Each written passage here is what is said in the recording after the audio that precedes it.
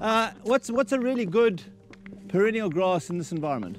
Paspalum? Good, fantastic. So we've got some paspalum. Paspalum, big broadleaf, captures lots of sunlight, perennial. So here we've got some paspalum, so give me a nice finger. Nice finger, yes, thank you very much. and over here we've got a cow. Nice finger from Chris. Thank you very much. Okay, now paspalum loves cows eating it because it gets rid of all that cover, allows the sunlight to actually get down to the the growing tips, which are in the base of the plant, not at the top, down the bottom. Also creates ground cover, cycles the nutrients, does all that cool stuff for paspalum.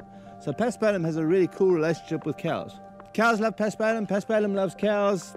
They do well on each other's relationship, okay? But in terms of stability of that environment, how stable would that environment be with just two species in it?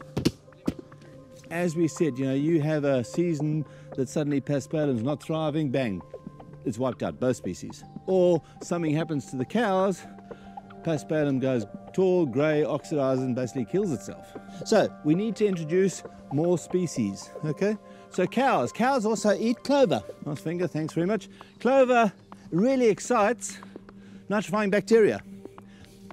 Nitrifying bacteria also help earthworms. Earthworms produce a whole lot of extra nutrients for Paspalum. Paspalum, okay. Paspalum gets eaten by caterpillars. Okay, caterpillars get eaten by quail thrush. Okay, quail thrush also eat butterflies. Butterflies die and get digested by nitrifying bacteria. Paspalum loves the nitrogen from that um, grasshopper. Let's have a grasshopper hop in here, grasshopper.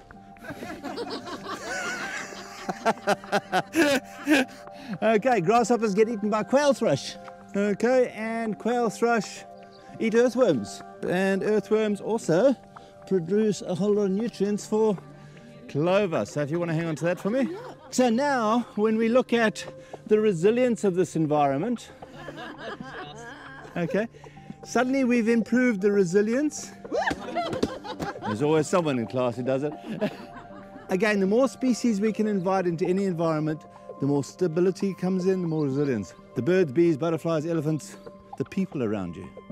And if we simplify those communities, it leads to problems. Okay? So if I said to you, this is our paddock, we've got lovely biodiversity, you know, if we have a drought or a flood, we still got a we still got a family, we've still got a business, okay?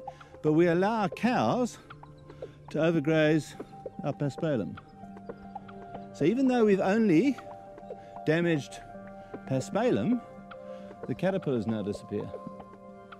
Okay? What's happened to our cow? you know, now how do we feed our family? So because of those connections, you get rid of one species, holistically it has an impact on a whole range of things.